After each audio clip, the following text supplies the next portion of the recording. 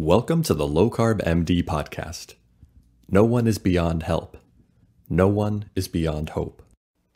As we have always said, we are bringing you medical information and cutting edge science, but none of this is medical advice. Please seek out input from your own doctor.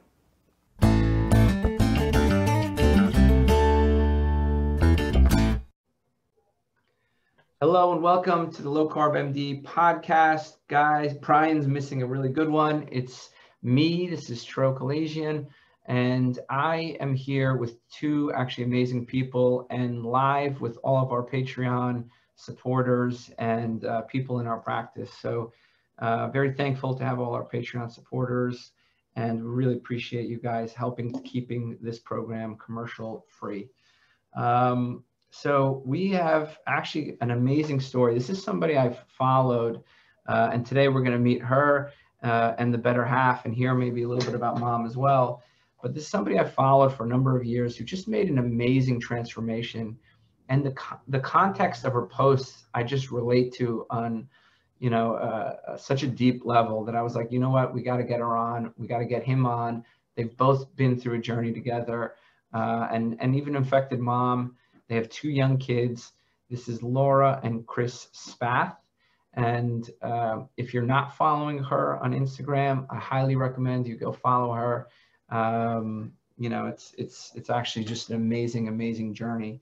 So what really prompted me to to reach out to you guys was, you know, I saw this picture of a young couple, uh, both overweight, both uh, you know, seemingly looking like metabolically unwell and then just this like radiance you know, like several years later it's almost as if you guys look like you know you were the kids of your former selves. So you know when i saw that picture i was like why haven't we had them on the podcast? You know i i think laura i've been following you for like two years on i just love your content on instagram. And i just couldn't believe that we didn't reach out to you sooner. So i said you know what? Let's just get them on. Let's hear the story behind what happened you guys have lost, I think, a total of 250 pounds together. Is that right? Yes. Yeah. So 250 pounds. Um, it's just an amazing, amazing story. And I wanted to hear, uh, I know a little bit about it from social media, and I know you've affected mom, and I know you guys have two beautiful kids, and you know they're probably rooting mom and dad on too. But I, I wanted to get a sense of the story. So first of all, welcome, and uh, second of all, um, you know, what was it like? What was it like back then, you know, before you kind of found your way? Um, so yeah, tell me about that, you know, kind of what, who were the, who was that couple from the before picture I saw? We have been married um, for about eight years and, you know, we both um, were overweight for a really long time. I started gaining weight in college. Um, and when, when you move away from home and you have to start buying food for yourself, you buy fast food. And I kind of had junk food for the first time in my life when I went to college and gained the freshman probably 30 and kind of really then spent, you know, the next 15 years just really gaining and losing uh, weight. Um, and, you know, kind of up and down. We, when Chris and I met, I was in my, you know, mid 20s uh, and was pretty overweight. Um, and we then kind of yo-yo dieted together, but I had always been somebody who could easily get, lose 20 pounds and then I would reward myself with a cheat day and then gain it all back, never be able to get back on track again, gain another 20. Then I would get serious, lose 20 pounds pretty quick because because you know you get serious, you can lose that first when you're overweight. And then I would celebrate because I deserved a cheat day and then gain it all back again. And so I spent 10 years cycling through that I tried at one point a vegan diet because I thought, you know, you watch the documentary that was out, whatever the new vegan documentary that was out at the time, 10 years ago or so. And I thought, this is how I'm going to be healthy. And so I did a vegan diet for a little bit um, and lost weight, as a lot of people do. But then I also, my hair started falling out. Um, and really just same thing. My mom and I were always people who gained and lost weight together. So she and I did this vegan thing for a while together uh, as somebody who's older, she started having she, her arthritis got a lot worse doing that. It just really wasn't working for either one of us. Um, we did a lot of, oh, we did the juice diets and the hack diets and whatever was out there. We did Atkins for a while uh, and just kind of settled. Chris and I met and we were both overweight. I'll let him tell you his backstory. Um, and then maybe we can go through kind of once we got married. Yeah, Yeah, so when just- I, I, I just want to get a quick sense, Chris. So, so, okay, um, here you are. Okay, you struggled all throughout your twenties, Laura. Now, Chris, did you also have that similar struggle all throughout your kind of childhood, tendency to gain weight, or you know, were you cut from I- the same cloth? yeah, when I was even in high school, I was overweight. Um, and after high school, I wound up joining the Air Force. And to join the Air Force, I had to lose 60 pounds before I could make weight.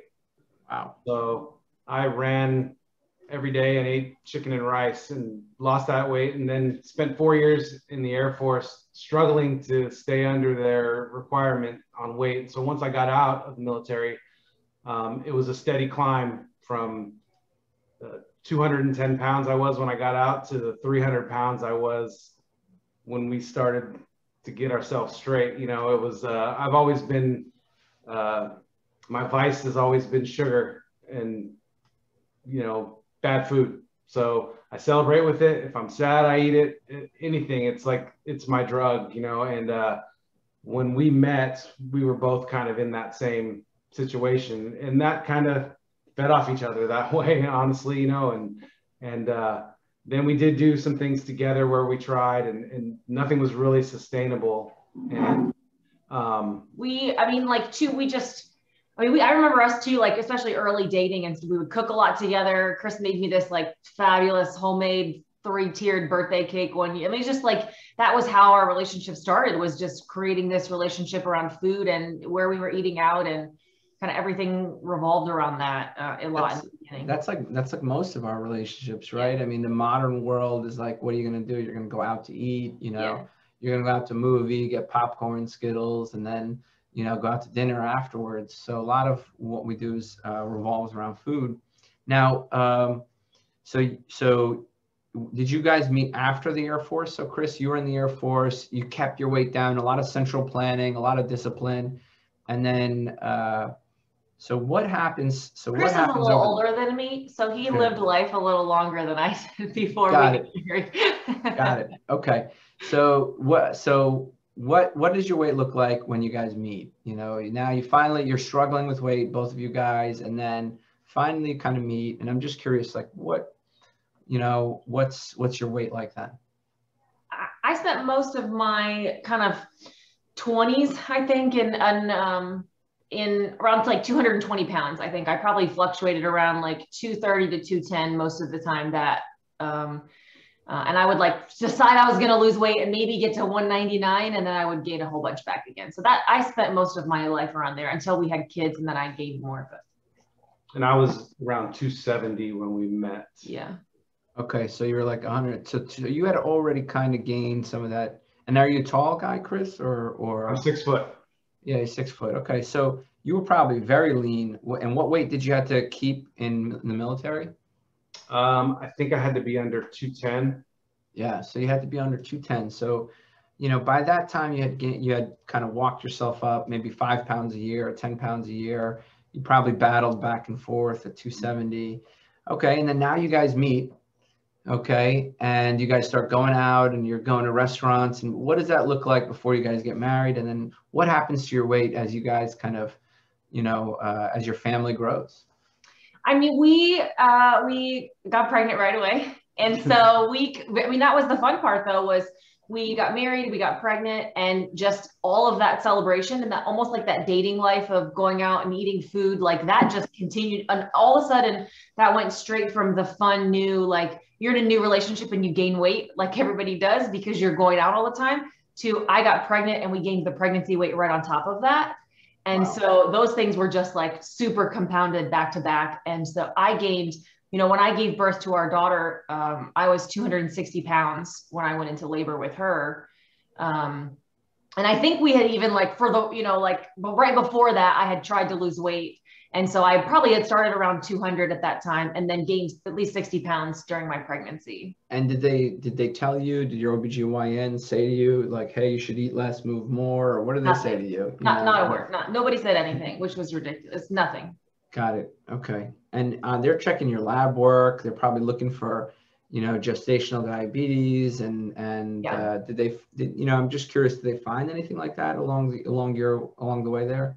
You know what? As a as a miracle, I they didn't. Uh, I think in the very beginning of my pregnancy, I thought like, oh, I'm pregnant. Like this is my first. I started. I was remember drinking tons of spinach smoothies in the morning, and I would start off like drinking this big thing of like tons of frozen fruit and yogurt and spinach, and thinking that was like me being good and pregnant and healthy. And then by the end of the day, I would eat a pan of Rice Krispie treats because I just couldn't You were starving. maintain that all day. Yeah, you're starving and you're pregnant and you're like emotional and you just can't sustain that type of healthy eating. You know, if I mean, I'm using air quotes if you're just audio listening to this because um, it just wasn't sustainable and I would end up eat a pint of ice cream at night. Okay, and and uh, when my wife was pregnant, I gained the sympathy weight. I don't know, Chris, did that happen?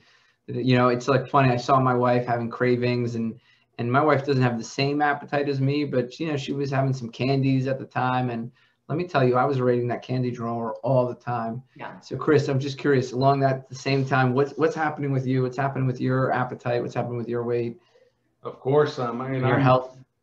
I'm at that time. I think the expression "fat and happy" is kind of, you know, we were kind of miserable in a lot of ways, but we were on the ride. You know, uh, being a new couple, getting ready to have a baby, and all that, and we just ate and ate and ate, and didn't really have any sense of the repercussions of that. And it wasn't until later that you know got slammed. Well, in the face. middle of my pregnancy, um, like almost like two thirds of the way through my pregnancy, Chris found out he was type two diabetic. Uh, and so that was kind of a wake up call for for both of us in that moment. And he, he had kind of stopped at that point trying to be with me, and like that was even harder for him to get on track because I still was in this, you know, six to nine months pregnant mode, and he was just found out he was diabetic and didn't really know what to do about it. That must have come as a huge shock. I mean, a guy who's athletic, military guy, you know, ran, kept his weight down, and then, you know, you found yourself with with type two diabetes. That that must have been a huge shock to you. It was a big wake up call. Um, they, you know, I, I, I started obviously having the symptoms. I was peeing a lot and different things like that, you know, and went to the doctor and, and they put me on metformin and didn't give me really any other advice than that. They just put me on metformin and said, How long was that visit that you went to? How, you know, when you went to the doctor, they did the blood work. They said you're diabetic. You go on metformin. How long was that visit? 10 minutes. 10 minutes. So you have diabetes. Here's a medication. 10 minutes of time. Yep. You're going to have this forever. Keep taking this. Eventually you'll have to take shots. That was the whole thing. Wow. Wow. And uh, so they you did tell me to lose there- weight. They told me to lose weight. That'll help. They didn't say how or anything. They just said lose some weight. That'll help. Just just go eat less. Yeah. Right? Just go eat less. So that I mean, how did you take that news? I mean, you know, uh, how how what was your age when you were diagnosed? You know, with the type two. uh, 41. Okay, so you're 41. so you're 41 years old, very young. You're diagnosed with type two. That must have been like, I mean, what what were- when you walked out of there, what were you thinking? At the time, because he didn't really get into any of the information, I really didn't have understand the gravity of it. Uh, I just thought, okay, I take this medication, you know, I try to eat a little better and I'll be fine. It wasn't until um, a couple years later when I actually got, uh, and I didn't do any research at the time on my own. I just kind of took his word, started moving forward. I actually did lose a little weight after that. You know, I started exercising more and eating a little better and probably got down to around 230, 240. But then, uh, you lost like 30 pounds or so. Did you was your were you out of the diabetic range at that point or no? After losing No, well, when I was on the metformin and I was eating better, my Yeah. blood sugars were better and under it. control relatively. yeah. Um, you know, they weren't as bad. So I'm like, oh, I'm fine. I can do whatever I want. And so I would still eat bad a couple times a week, and I would, st- I, I really didn't take it too seriously. so you're kind of flirting with uh, disaster, basically. Yeah. Got Just it. using the Okay. medication as an excuse to say like well now i can eat what i want because i have a medication that's helping me to regulate those things so i don't have to take it as seriously or or not even understanding that you had to take it seriously you just thought the medication fixed it so you could go back to eating those things yeah and what and what so what do you think so now you're in, eh, you're finished with your first pregnancy did the baby weight come off you know, because of that, I guess in some ways too, like he was type 2 diabetic. My mom was type 2 diabetic. My grandma was type 2 diabetic. I was like, okay, what's the big deal? Take the medicine. We'll just, what are you, what are you gonna do about it? Like, it's just what happens when you get older. It's like, you're older than me. That's what happened. And so I didn't really take it that seriously either. We did after um, we had our daughter about four months later, you know, I was still nursing, but we both kind of got serious. We did low carb. We knew like, low carb was the thing and there wasn't really keto back then even. So we kind of cut the carbs and i would say probably not really low knowing now what we know. I mean it was we were probably 50 to 70 a day but we cut out the ice cream and that was a huge part of it. You know we were eating a lot of quest bars and um, a lot of processed low carb food at the time a lot of low carb tortillas and stuff like that. Like dirty low carb Absolutely. Yeah. And okay. we both lost weight. I think I got down to 180 at that time. So um, you went from 270 at, at, after pregnancy down to 180. Yeah. Okay. And then comes another present, right? So we, well, at the time that we got, we both hit our goal weight. I have a picture that I posted that day, like on our, my Facebook or something that said, congratulate, you know, we lost weight. Ta-da, here we go. Here's our after picture. And we both are standing there, you know, and we literally that day we went out and we got cheesesteaks, french fries, and ice cream. And we never got back on again. And so our daughter was one year old. We had celebrated her birthday, we celebrated our weight loss, and then we went back to what exactly what we were doing before. And over the next year, um, I gained 30 pounds. Wow. So, so we back out, to yeah. back to carbs, back to always being hungry, insatiable. Chris, did you gain weight too? Absolutely. So I, at my lowest there, when that she she talks about that picture, I was about two two thirty, I think was my goal, and that's where I had hit. And I thought I was in great shape. I was all excited, but then it, like she said, it was back on the train, and then baby two came, and so we I found out I was pregnant with my son, and I was um like probably 210 pounds. So that was the 30 I had gained, um, and this was maybe you know almost a year later when I gave birth to him again. I was I again I had gained like 50, 60 pounds uh, and was close to that 260, 270 mark again. So kind of all that time I was near 300.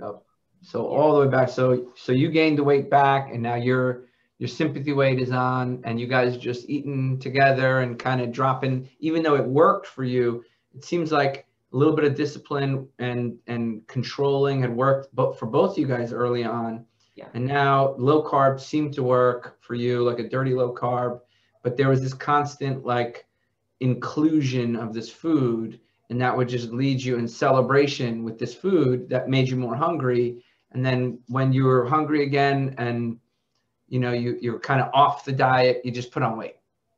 Oh yeah, and it, I mean it's really because we just it's such an addicting food, and you know we're not neither one of us are people who are able to moderate. We can't have a cheat night on a Friday night and then get back on track again on Saturday and then just be fine again or be normal people. We can't have a piece of pizza and a corner of a brownie. We're going to eat a half a pizza each, or we're each going to order our own pizza. We're going to split a pan of brownies. Like that was our lifestyle that we lived together before.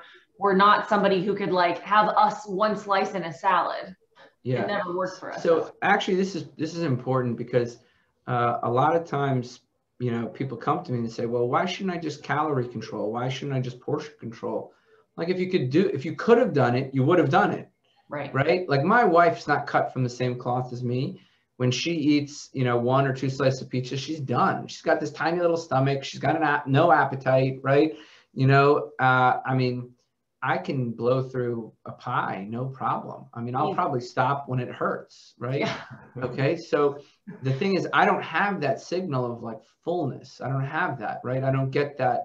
You know, I can eat a, you know, an entire head of broccoli. I can do, I can eat a whole salad and it'll fill my stomach up, but I won't be full, right? right. So, so I think what I'm sensing here is you guys both had an appetite and the food just kept you eating you know the food just kept you eating and whenever you you can use your central planning chris it sounds like to like you know military background clearly you have discipline right? Clearly you can control. And then laura you know you found yourself um, you know able to lose 20 30 pounds if you really think about it.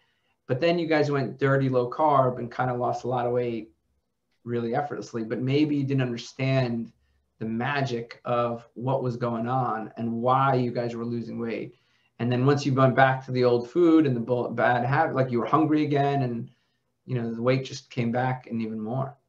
I think people don't understand that discipline is not the problem. Like we were always very disciplined people. I'm a very i'm a i have a you know i'm a really focused on my career. I have a very i work really hard in my real life job. I'm a very driven person. I need to succeed at everything i do. You give me a goal and say you need to lose 20 pounds and then you can have a cheat day. Done. Absolutely. Easy I'm really good at being determined and having goals. Willpower was not my issue. It's the addiction and it's the never again. It's the forever. It's long term where I struggle. And even now, I still today have to focus on you know really short term things that keep me driven and motivated and like what's the thing that i'm working towards and what are my goals and and what's happening because i think sometimes people put it on like i just don't have the motivation or the determination but but what if you do have determination? You really are sick of your weight. You really are determined to lose it and you still can't do it. Like that's a lot of people. And that's definitely the category that we fell in, um, where we could do anything for a short amount of time, but then ask me to sustain it forever or to never go back. Like that was the part that we didn't understand the food addiction element then, or we didn't understand, um, you know, what forever had to look like for us.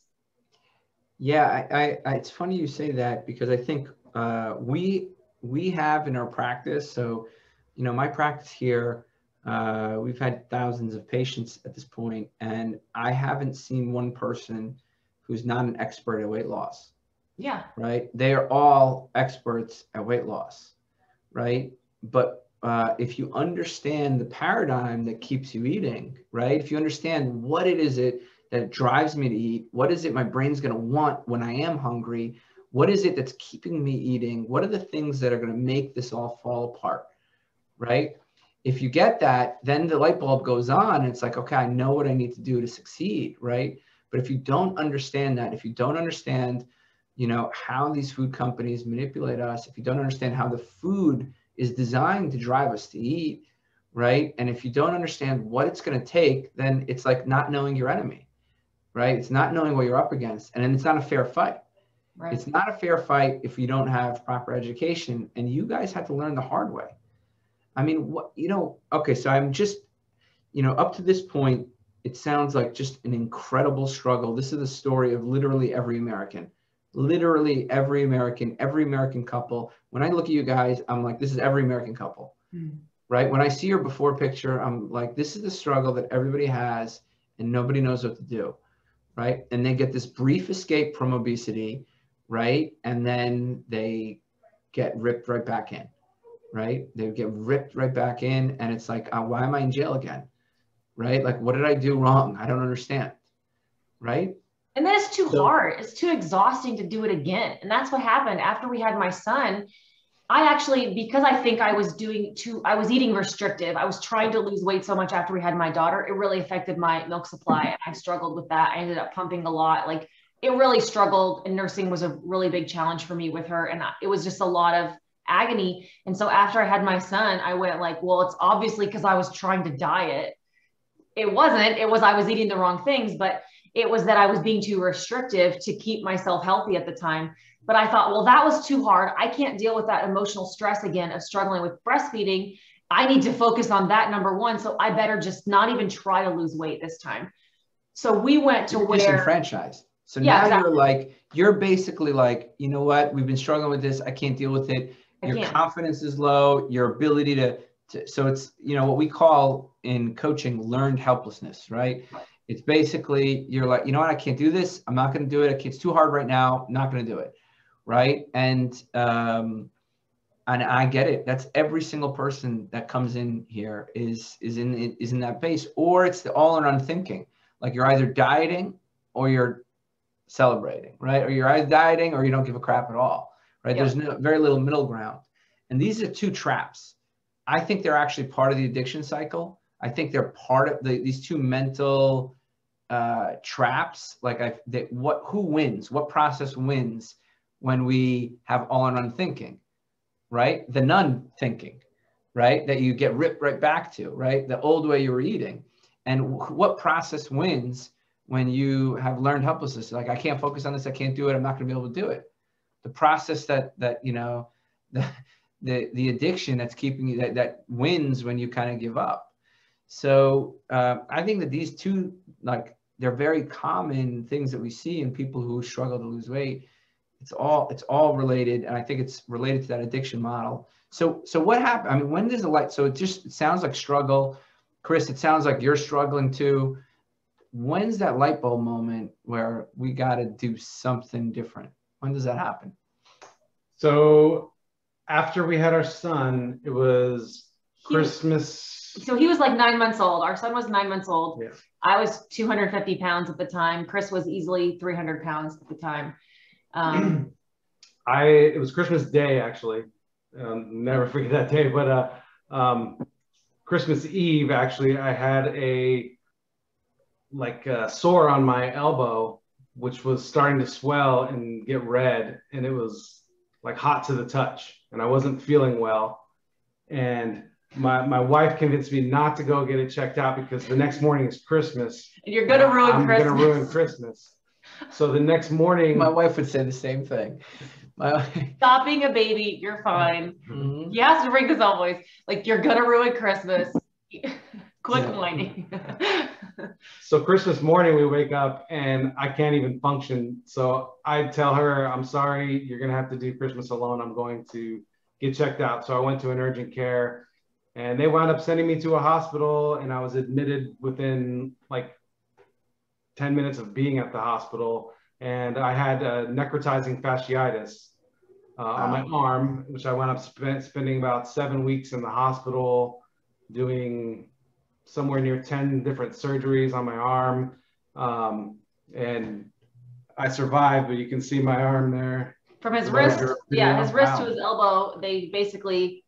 So it So is. if, if nobody knows what necrotizing fasciitis is, sorry to interrupt. Yeah, it's basically an, an infection, um, a bacterial, usually bacterial infection, a mixed infection of different bacteria that spreads along the fascial planes, like spreads along all the different tissues in the body. And if you have high sugar, diabetes, pre-diabetes, you're more likely to get this because it's a fertile ground for bacteria to just just grow. Just like when you have sugar in your mouth, you get cavities. If you have sugar in your blood and your tissues, this bacteria is more likely to spread. And once it starts spreading in those fascial planes, it's very hard to stop. You need a lot of antibiotics, uh, surgery, um, and aggressive uh, blood sugar management. Um, so, so that must have been terrifying. They I really mean- didn't know what it was either. It took them several days. I mean, I think the hospital we were at was definitely not equipped to understand what was happening. They thought it was just like cellulitis. They thought it was a more minor infection. And it probably started off that way, but because his body was so unhealthy, it really just transformed and spread. And I mean, Yeah, and I spent, you know, all that time in the hospital, and nobody once had a conversation with me, not one doctor, about my blood sugar, about type 2 diabetes. In fact, I ate pizza in the hospital peanut butter almost, jelly. almost every day from the cafeteria, and then they would just shoot me with insulin. And I have pictures of like um, his stomach, the nurses injecting him, and his stomach is just covered in bruises at the time from all of the insulin shots he was getting every day. I mean, this was got to the point before they figured out what it was. They were telling us to like, you know, it's call family. They somebody needs to come say goodbye to him if there's somebody that needs to say goodbye. And then obviously once they realized what it was, um, this once and after the surgeries, then they kept doing all those surgeries. But he was there for for uh, obviously, you know, a couple months almost.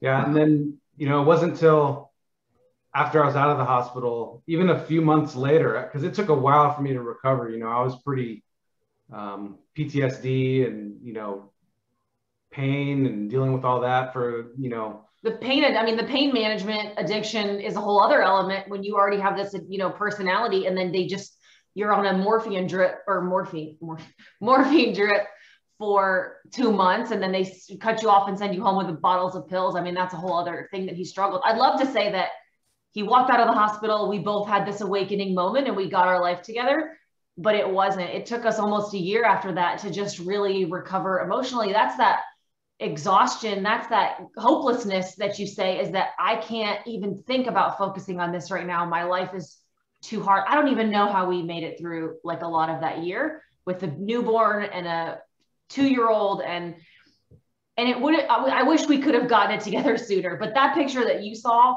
was at the end of that right that was he had been home from the hospital for about a month we both were kind of in this place of just feeling so lost and so unwell and just completely falling apart and really not just too exhausted to really care or try. And you just fall into that that disenfranchised. Helplessness mode that you mentioned. Yeah you're disenfranchised. I mean I, look i don't I, I i feel for you. I mean i just you're in a hospital they're dealing with an infection and the only way they know how is antibiotics and give you insulin. Meanwhile they're just adding fuel to the fire the kind of and then yeah now you're in pain and they're you know people so they have good intentions right they have very good intentions. Let's fix his infection. We'll give him insulin to manage his sugar, right? And they have very good intentions. Let's fix his pain, right? Let's give him pain medication. But there's no communication about, you know, the real scope of what's going on here. Hey, these pills, they're going to make you terribly constipated. You're going to need more and more. And you're going to be on this for a really long time. You know, you're going to be on, it's coming off this is going to be brutal, right? But they don't, you know, they don't have the doctors who did the surgery, they're not the ones following up with you. Your primary care, you probably have hospital doctors, they're not the ones who's going to see you in in 2 months or 3 months, right? And then maybe you have a pain management doctor, they're happy to get their monthly check from seeing you, you know, every month for your medications, keeping you hooked. I mean, yeah, they everybody has an intention of wanting to get people off, but it's not an easy it's not an easy thing to do. Um, They're definitely, uh, like you said, there's no one person that was in, uh, aware of everything that happened with him from start to finish through all of it. And if you are not willing to take that into your own hands, which we weren't at the time, then you're right. You're just talking to all these individual people about what their specialty is and what their intentions are to fix. So, holy crap. I mean, now the stress of all that, uh, two young kids. I mean, Laura, what's that like for you? So, you, I mean, at what point do you you know what point do you start battling these things you know i'm sure you it's taking a toll on your family i mean how long ago i mean it sounds like you've been battling your whole life but but when did you start winning let's put it that way um, it was about a year after that honestly after chris came home from the hospital it was almost a year later before we really felt like we could get our feet under us again. I kind of had a wake up call. I had um, a work conference that I go to every year that I have to fly to, and they require you to wear like specific shirts for this conference. And I had to order, I was planning for that conference a couple months out, and I realized none of my shirts fit and that none of the women's shirts fit. Like I couldn't even order the women's 2XL shirts, and that was the biggest size they offered. So I had to order the men's uh, 2XL shirts to get something to fit me for that conference. And I went like, well, this is embarrassing. like that's a problem. Our son was about ready to turn two and I weighed more than I did with him than when I went into labor with him, which was another huge wake up call. Um, and we just, I just decided mm. like, I mean, we were always very good at starting diets. And so we, again, we started the diet. We had started one January 1st of this was 2018 we started on January 1st, but it was already March and we had fallen off t- two or three times, I'm sure. So it wasn't that we never stopped starting, but I kind of um, had a couple big things coming out between March and May. Our son turned two in April. I had this conference in May. So I got some goals and some motivation that I needed. So I started in March of um, 2018 and had those knew I wasn't like I knew in my head I wasn't going to cheat for those two months because I had something to prepare for. But then after that, who I who knew? Like I didn't know that this was the time that I would quit giving up. Right? Things evolved. You you decide every time. Everybody's good at starting a diet. It's then what happens after that. And so I finally this time for the thousandth time I had started a diet in my life figured out as I was going, like how to stop failing at it. At the same time, I had actually done research about what happened on my arm, Yeah. why it happened, because no doctor gave me that stuff. So I did that on my own. And I had went to my primary care doctor and he said my A1C was too high. It was 11.6 Holy shit. while I was on metformin. And he said he needed to put me on insulin shots. And I said, no. Let Wait, me wait, wait, wait, wait. Hold on, hold on, hold on, hold on, hold on. Hold on. You get out of your, get out, you're battling this infection, you make it out, several surgeries. Okay. How long after you get out is your A1C 11.6? about a year. So a year goes by, they're giving you pain pills, they're giving you a bunch of other stuff. Someone decides to follow up with you, check your A1C, and it's 11.6. Just so you guys know, this is like a severe, that means his average sugar is probably around 250, 300. That's like a fertile ground for another infection. And, There's and a really, huge percentage of people that once they have this infection, they get it again. Yeah, yeah. I mean, that's okay. So your primary care doc's with you, says you need to go on insulin. How long was that conversation? How long was that meeting? 10 minutes or less.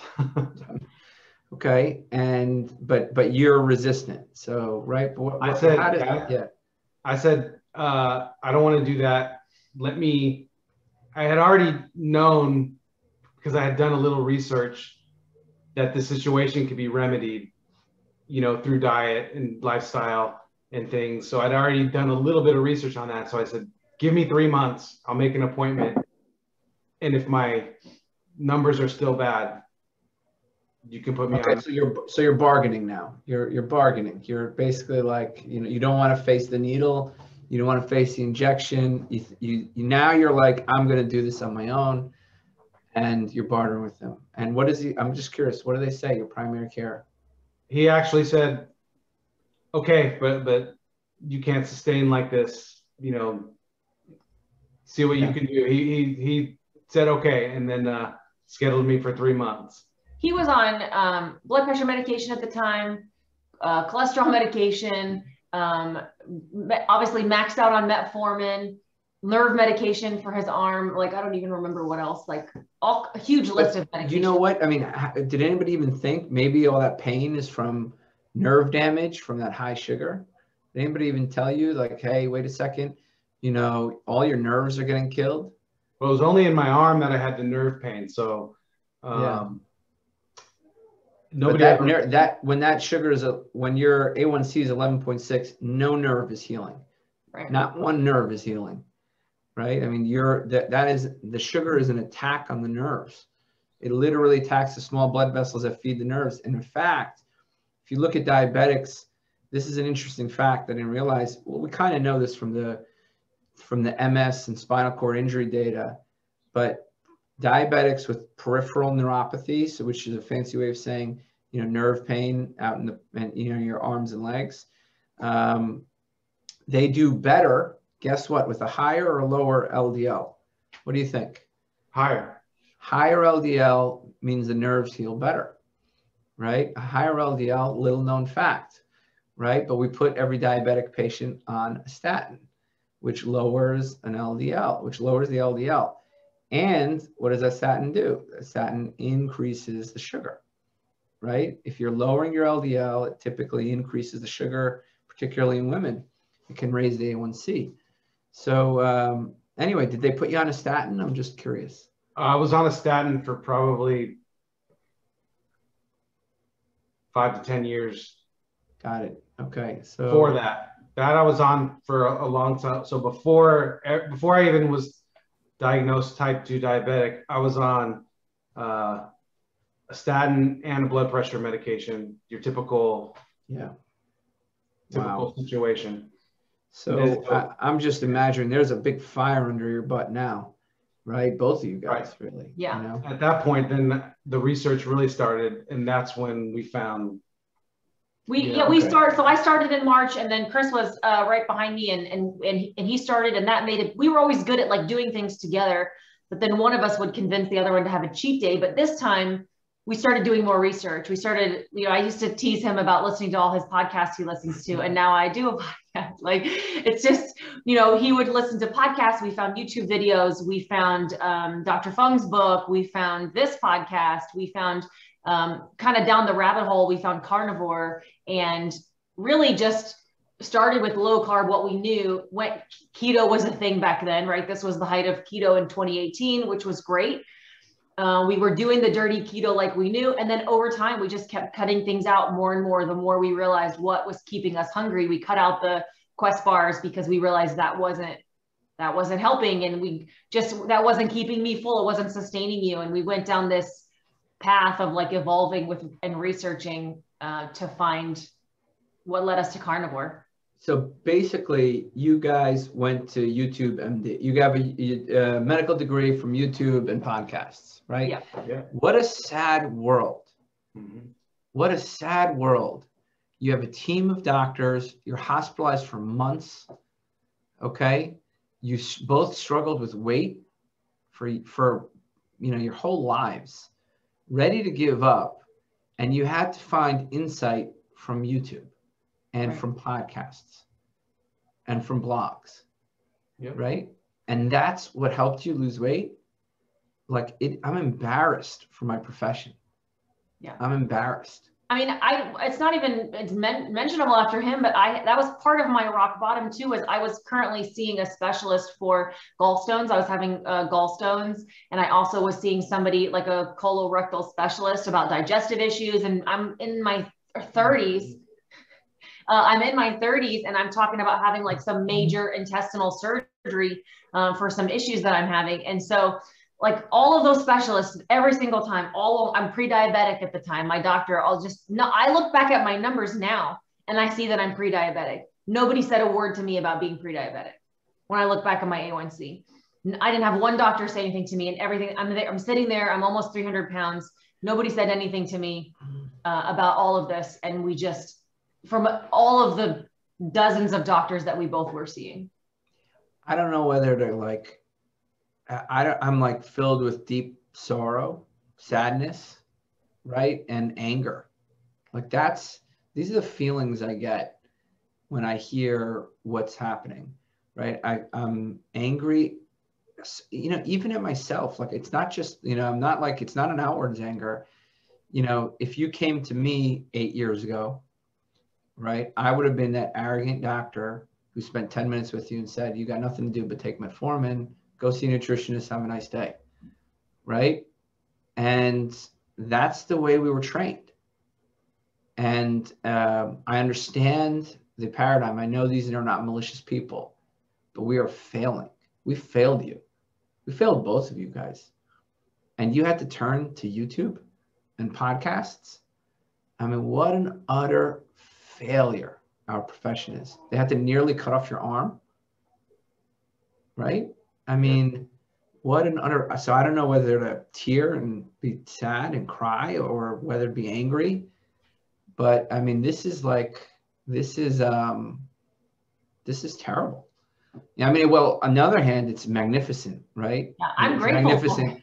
yeah on the other hand it's magnificent. I mean like you got say like you went to youtube you found all these people jason fung probably shawn baker paul saladino noakes fettke sarah hallberg you know all these people who put out things you know virta's that's just done amazing things this podcast um, you know um, yeah so so you know how did you you know what what brought you further into the rabbit hole and who are the people who really affected you you know from youtube md yeah.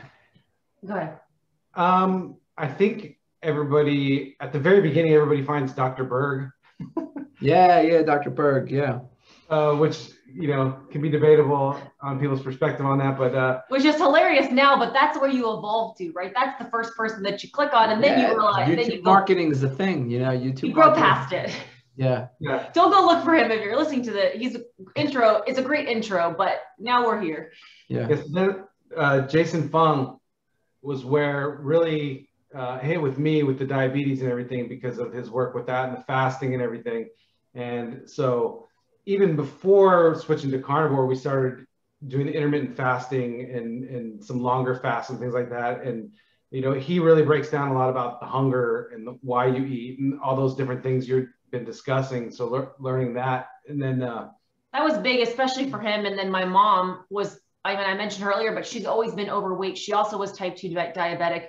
She was taking uh, Victoza shots and like all kinds of like injections for her. She's in her 60s, you know, and she heard that we were fasting and just thought we had this eating disorder and thought we were being restrictive. And so giving her things like Dr. Fung's books on uh, obesity code and um, diabetic code, like all those things really uh, giving her Dr. Berry videos, like those things, she finally clicked for her that there were these doctors that were explaining things to her and that we weren't doing a 36 hour fast and having an eating disorder. But that's when things clicked for her, for us, as far as like using these tools to reverse our metabolic conditions more than just lose weight. Because we've always been able to lose weight, but now we were looking at reversing metabolic conditions uh, through a lot of these tools so so like Dr. Fung, and and then I went down, you know, Ben Bikman and, and into the science of what's happening in the in the organs and all this and really understanding that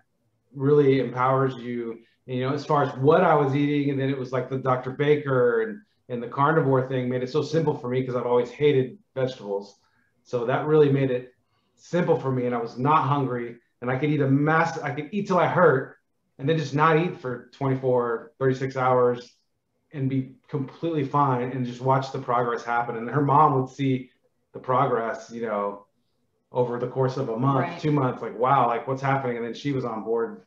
I mean, him getting off of medications, then all of a sudden she started believing it too. Yeah. Because, and I mean, you can never, people want to know, like, how do I convince my mom or your, you can't. My mom was never going to believe me. She believes him way more than she believes me because he had the diabetes and he, you know, he was able to get off of that medication.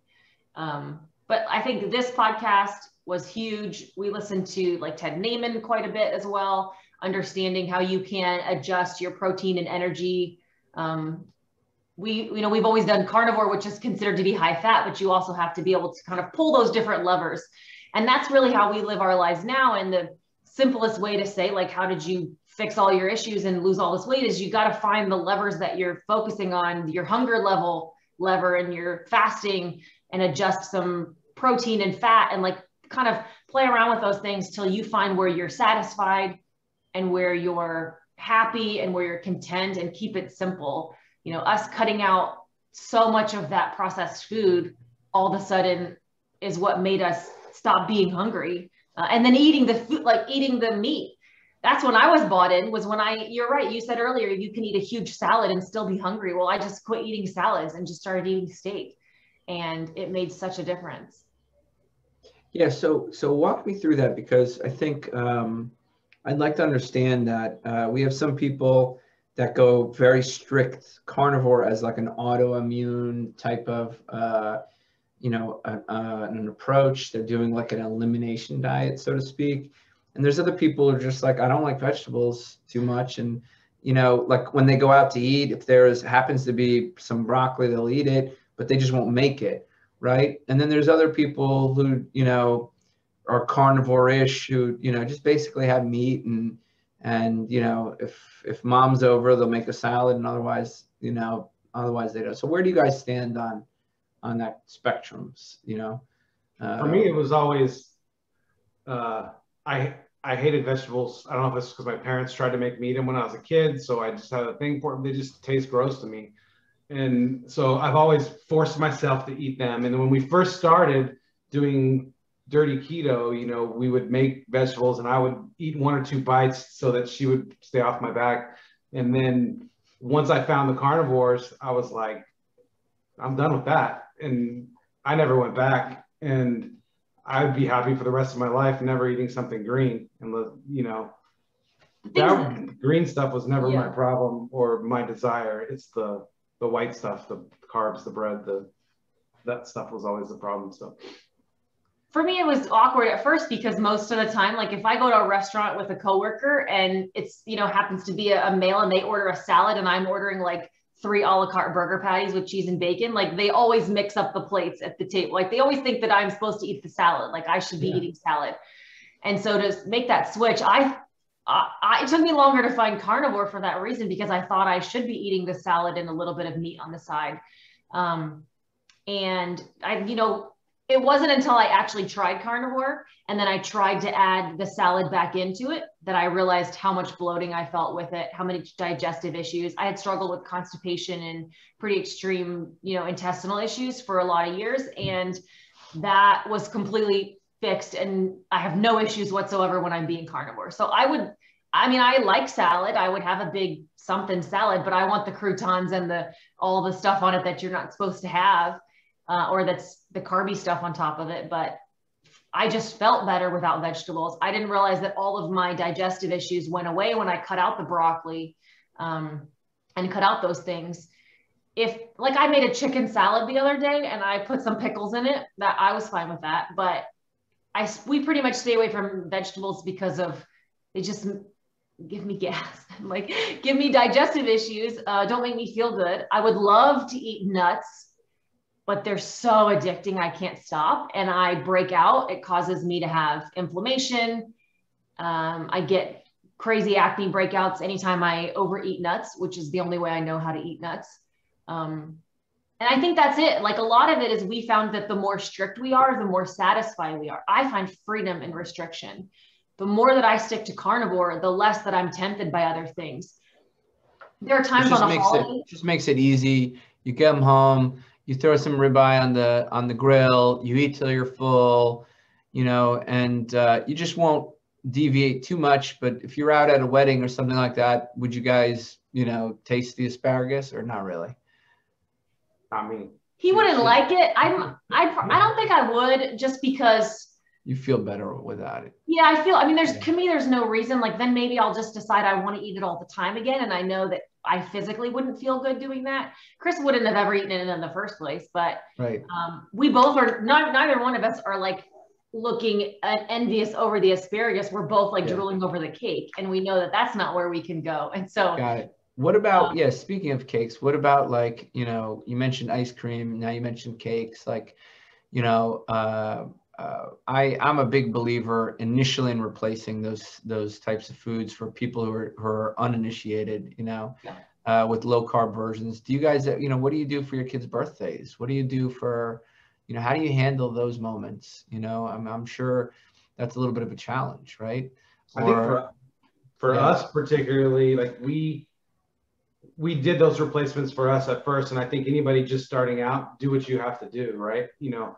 Um, but eventually we realized that those things still triggered us. And if you eat too much of those things, they're still just as bad. So once we were free of those things, you know, like she said, it was a weight lifted, you know, it's uh, liberating to be free of that. So we don't do that anymore. A couple times in the last couple years, like on a holiday, we've had like a Lily's bar or something, and we find ourselves in a spiral for a few days trying to stop thinking about them. So we realize, you know, that's not a good idea. But for the kids, you know, um, so let's let's just talk about that real quick because yeah. so people just to understand, right?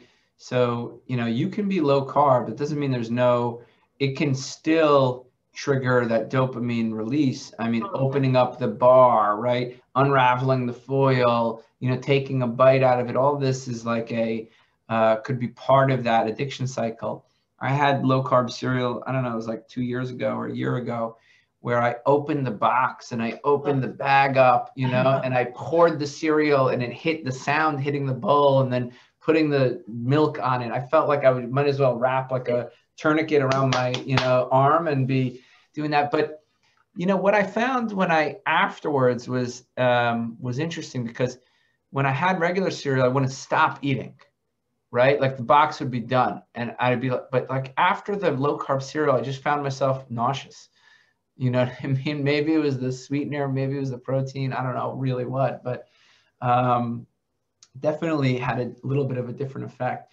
But I know exactly what you're saying. Once you go back to that sweet taste or that savory taste, and your body, your brain, obviously, we're we're drawn to that, right? We're we're animals at the end of the day with basic instincts, right? That sweet and variety and that savory taste will get your brain wanting more.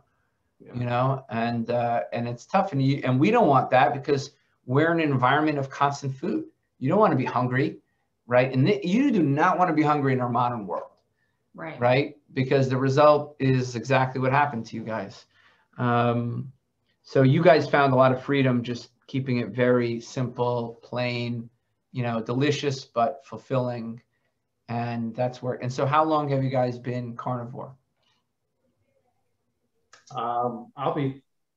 I just passed three years a couple days ago. Yeah. Wow. we're we're coming up on three. Maybe Not the sustainable, first, right? the first six months of that probably was us like weaning down off of some other things, but it's definitely been three years since we've been doing this journey. You know, we both struggled quite. I mean, listen, that does not mean like I thought it was going to be I lost the weight, I hit my goal, now things are perfect and mentally easy forever, and it wasn't. You know, 2020 was a big setback and wake up call for us. I think, like a lot of people, this unfortunate situation of just like everybody's home and your pantries are stuffed and you have nowhere to go. And there's just, it's really unfortunate the way that that happened. And because of, I meant, I'm such a goal person and I'm such a look forward to this date and I'm such a determined person to work towards something. Well, when they take away everything that you can work towards and look to and go and like you're stuck in your house, like we both gained a lot of weight last year. And I think, What's a lot of weight? I'm not a lot. Oh, I mean, for me, What's like a lot of weight. For me, like 15, 15 pounds or so. So you went from you went from like 200 to 215. No, no, I was went from about 180 to 205. Sorry, just I'm laughing because that's like nothing. Okay. Right. All right. So I mean, I gained more than that. I think I I definitely But- I had gotten all the way down from like 270. I'd gotten all the way down to like 140 pounds. Um, Wow.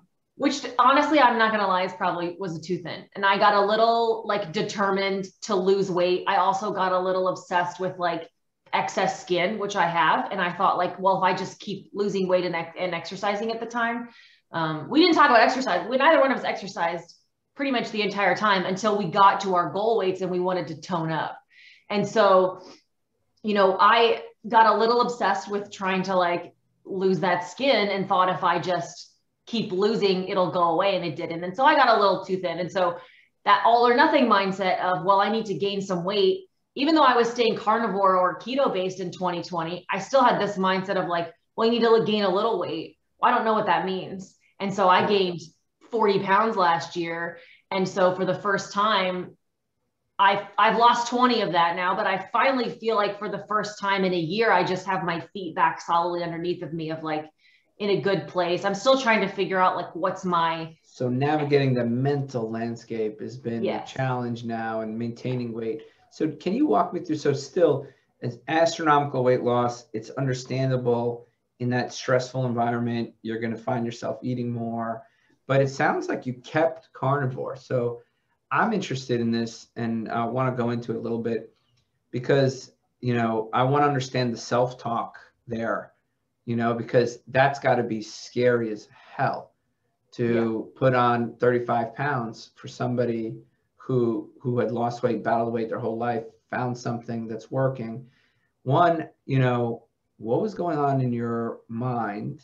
And two, you know, what is it that, you know, you you ate carnivore. So how did you gain weight with carnivore?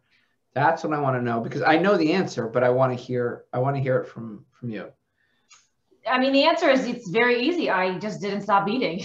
I mean, there's that element too. We were, I was, I'm used to traveling. I have a corporate job and I'm gone all the time and I travel quite a bit. And I'm not used to being home and in my house and access to food. I wake up, grab three cheese slices, go hit the desk and start working. Take a little break, grab some handful of pepperonis, come back to my desk, keep working. Get up, go eat some bacon, go back to work. And I stopped the fasting, which has been a huge element for us. I allowed myself to not eat clean. I wasn't eating I still then I ate then I ate my big old steak at lunchtime, and then at night we had the pork rinds and the bust, bust out the salami and bust out the string cheese. I mean, I was eating a I could eat a pack of string cheese in a day. I can't even eat them anymore. That's not something I allow myself because they're they're I can't stop. You know, we got we all of our food addiction habits came back with the nonstop eating, the mindless hunger, the grazing, the watching TV and mindlessly eat an entire bag of pork rinds I think that was the first time was our wake up in the at first it was fun. I mean, we're you're not going to go anywhere. Nobody's letting you go anywhere, which is a whole other conversation. But might as well just eat. I don't have anything where to be. Let's sit on the couch tonight and eat. You're you're stressed out animals seeking out comfort. Yes. And now instead of it being, you know, super hyper palatable food that literally makes you hungry two hours later, it's higher fat food that's salted and flavored, cheese, salami, um, and you're eating more frequently. So Yeah. do you guys have pets? I'm just curious. No. We No have pets? Oh, a snake. You have a Snake snake. once a, we got a fasting snake at a carnivore. We got a fasting. yeah, fasting carnivore snake. So have you guys either either of you had a dog or or you know growing up or anything like that? Yeah, and you put food in front of that dog, what happens? They eat it every time. They eat it, right? And three hours later, you put more food in front of a dog, what happens? They eat it. They eat it. Now you stress out the animal, give it a uh, comfort deficiency, and you put food in front of that animal every three hours, what happens? They eat it, I assume, they right? eat it right Yeah. they eat it right so at the end of the day you know um, so you found you found the way to gain weight on carnivore and that's to go super high fat and palatable eat more frequently right so okay and so you notice it you're probably not happy about it i if i were in that position and i gained weight a little bit uh, after my surgery couldn't exercise anymore pandemic right um, and uh, it was a mind like it was a mental Yeah. excuse, my language it was a it was a mess Yeah. right because you know now it's like oh my god you know we're gaining weight and so how did you battle back how did you claw back I mean, we had to.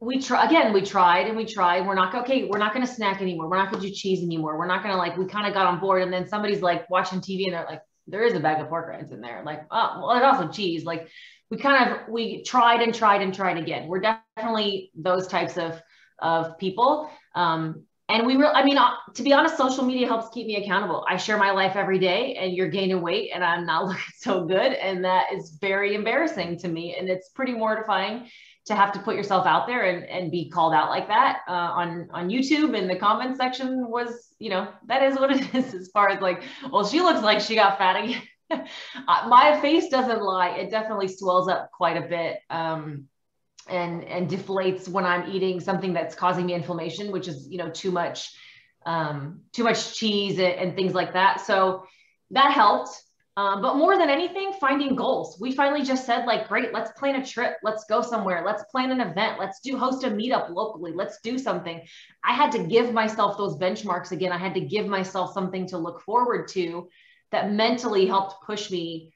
I had to make it through one day at a time and make it through the weekend and make it through the week and then pick those goals. And now I have, you know, I'm flying to Austin and we're going to do a big carnivore meetup in Austin in a, in a month or so. And then I have, we kind of just started planning things that would help keep us focused and knowing what we need to stay on track um, are those benchmarks and had to kind of find those again, almost like we're starting over again, which is why it's so easy to fall back into that helplessness that you mentioned. It's like, we didn't gain all of our weight back, not even close, but you feel like that. You gain a little and you mentally, you feel like you're starting all over again. Yeah, you know, I'm I'm, going to tell you, I know it's a it's a tough place, you know, to face adversity when it comes to weight, especially if you've had a lifetime of struggle. So good good for you guys for keeping it. And then you've noticed that the power of community, the power of support, you know, that these are really really powerful things uh, to keep us going. Um, and you, to some extent, you mentioned sublimating. Basically, this is your lifestyle now. You're going to kind of revolve a little bit. You're you're making community. Some people, you know, I, we bash Weight Watchers here uh, all the time, but one thing that they do very well is create a community, right? You get them together, you meet, you clap, right? One thing the vegans do very well is they give people this sense of moral superiority and community that they're that they're doing that they're doing something better than themselves like there's something that you know it's not just their weight it's something else. So they're tapping into that uh, other part of it you know the the conscience and they're tapping into community and they're tapping tapping into support. You know i've talked to brian for a long time. You know we want to make like a low carb church so to speak where we give people community we give people you know like hey look this is your health. And you know, i think what the important thing here is and one of the real lessons that i think people can take away is you know you can gain you if you're if you do not respect appetite and hunger right right and you do not respect you know your ability your brain's ability to get food you know you can fail with any paradigm right it's just harder to fail with carnivore right but look at what you did. You you gravitated to cheese. You gravitated to, you know, uh, snackable kind of meats that are really savory and salty, right? Uh, any animal would have done that, right? It would have been a no-brainer. If your dog did that, you wouldn't say anything. You know, you'd be like, of course, of course he's doing that, right? Um, so it's just, you know, it's interesting. There's a way to fail in, at any diet and how important it is, wow, to get that adversity. But then I think the real story here is the mental game is just um, like on point. I mean, you guys have a vision of success. You're gonna succeed. You're not gonna fail. You know, you're gonna examine adversity. And I mean, look at what you guys did. You're you're you you were you were faced a little bit of struggle, both of you, and now you've crawled. You know, you're crawling back. Um, we learned a lot, that's for sure. Last yeah, year, a lot of mental stamina, um, and that and I think that's the um, you know that's critical for anything right for any part of overall health is that mental that resiliency. We call it tenacity here. Uh, we have you know our uh, six defenses for maintaining a lifestyle. One of these the first one of which is awareness. I mean you guys woke up. You had to go to youtube md you had to go to you know podcast md get the insight. You, you examined what caused you to fail. Preparation I mean, that's not hard for you guys. You know, just prepare. If you're, you know, coming home and you have to stare at your kids' Cheez Its versus, you know, having two ribeyes on the grill, you know, ready to go. I mean, it's easy decision when you got two ribeyes on the grill, right? So preparation's key. Self-advocacy, I think that's what you're cultivating now. Like, hey, this is for our health. This is for our life. This is for our future. And and you know, I don't want to disappoint all the people that follow me on social media and YouTube and whatnot. Uh, but stay off the chat for your mental health. Oh I know. stay off the chat. And then uh, the other thing is, you know, community and support. How valuable it is to have each other, right? How valuable it is to have like a greater community, you know. Um, and then, you know, certainly at some point you need some impulse control. Like if you're staring at that pork rinds, you know, and you just put the kids to sleep and now you're relaxing with Netflix, like don't expect that you're not going to want it. Of course you're going to want it. Right. And then the last one, which you guys really exemplified here, our last defense is, you know, tenacity, you know, which is like the ability to say, hey, something's wrong here. What's what, you know, not go to all, you know what, I gained 40 pounds. I might as well go back to the Quest bars and you know, and birthday cake and whatever it was, right? You didn't do that. You're like, okay, you know what? Let me just slow down, figure this out. I mean, you guys, I think, will be healthy for your lifetime. You know, what what's your big tip? If you had like one or two big tips to give people that are just listening, inspired by you guys, um, what what would be your, you know, one or two tips? I think the biggest one for me is just don't wait till Monday. Like I'm the queen of starting a diet on a Monday and then by Tuesday or Wednesday I fall off and then I well I might as well wait till next Monday. Whenever you're whatever you're listening to right now, if this if you're listening to this on a Thursday afternoon, like this is the time. Like there's is having that food one more time is not going to make a difference for you. Um, is my biggest tip is just to say start now, keep trying. If you mess up, start again. Like it's just it it's to not give up, like you said, the tenacity element.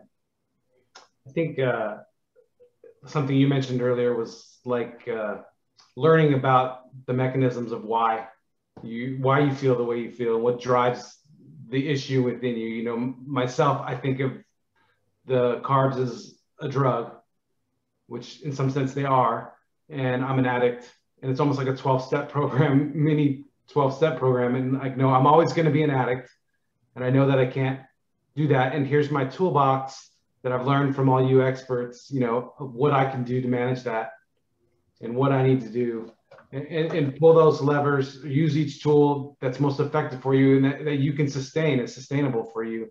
Um, some people that's fasting, some people it's protein to energy ratio, some people it's, uh, you know, or keto or carnivore or low carb or, or vegetarian, whatever your, your thing is. Don't you know? do that. Um, uh, what you can do and sustain, understanding, you know, the danger of what happens if you go back you know, it's it's funny that you say levers uh, because you know in our practice, I'm going to bring it up here for people who are live. But in our practice, do you guys see this?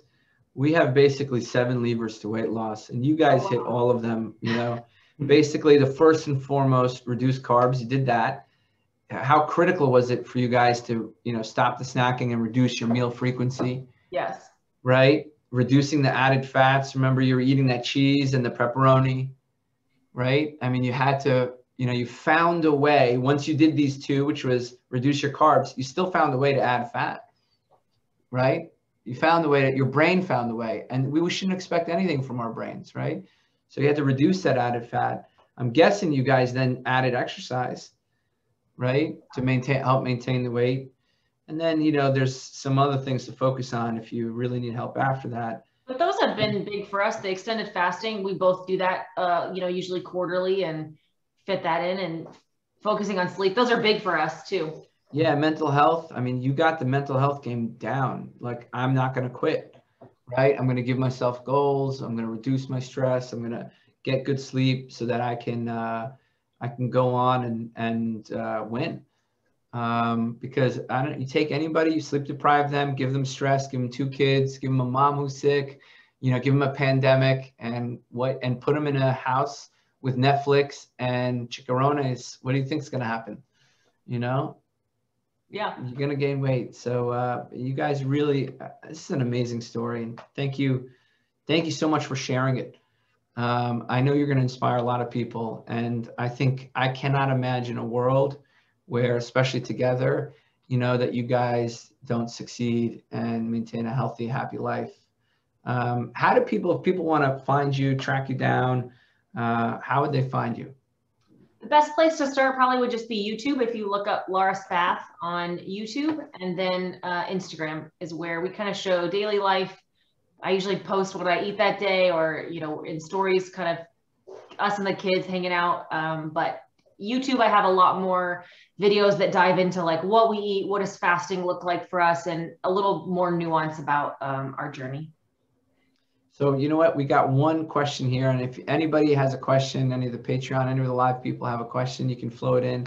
We got one question here, if you don't mind answering it. Sure. Um, so I'm going to read it to you, and and uh, you know what? Let me even see if I can bring it on the screen.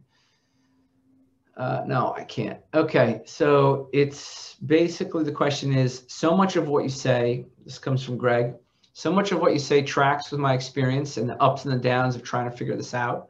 It's so great to hear these experiences from someone else. Thank you so much for telling your story.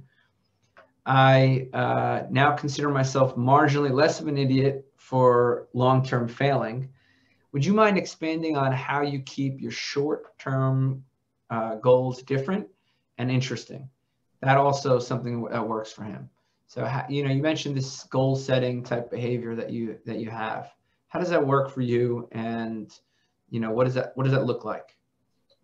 I think uh, holidays are a big trigger for me, to be honest, because of the specialty foods that are out there. Like I was a big person who like bought up all of the specialty holiday foods, the Easter foods and the Christmas foods, and like, you know, stuffed our pantry with it. And like we ate on it for months afterwards. And like, I, it's that's still hard for me when you go to the grocery store and you see that thing that you know is only there at Easter or you know is only there at Christmas. And so I still have to tell myself, like, just not this year. Like, it will be there. It's always there. Every time you go down, it's always there. And so sometimes it's just getting past those things of me telling myself not now, even though I know like, okay, future me can talk myself out of it again. But like right now, if I told myself that food sitting on the shelf there, you're never going to have that again ever is sometimes is a little daunting for me. And it just makes me want to say, forget it.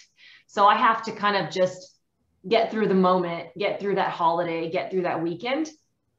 And really, too, just I wish I could say that being healthy forever is enough of a goal for me. And I'm unfortunately it's not.